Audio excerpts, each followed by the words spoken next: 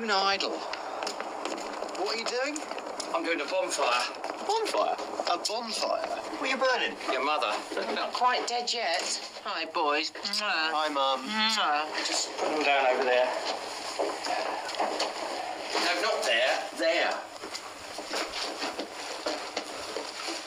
No, there.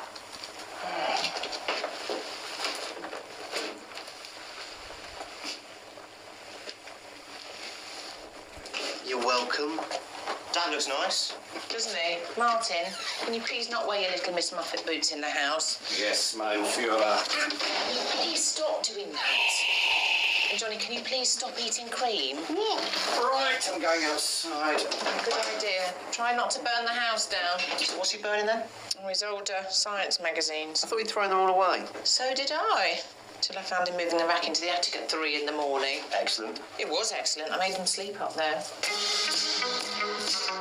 So excited.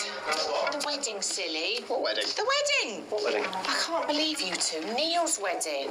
Neil. Oh, you mean boring Neil? He's not boring. And ugly Karen. Karen's not ugly. Mum, she's got a face like a foot. Stop it. She does. She definitely has a foot face. Well, maybe her face does look a bit like a foot, but still, she's a lovely girl. For a foot. I now pronounce you man and foot. You may kiss the foot. Do we have to go? No one's going to notice. Shut up. It's Val's son. She's my best friend. You're going.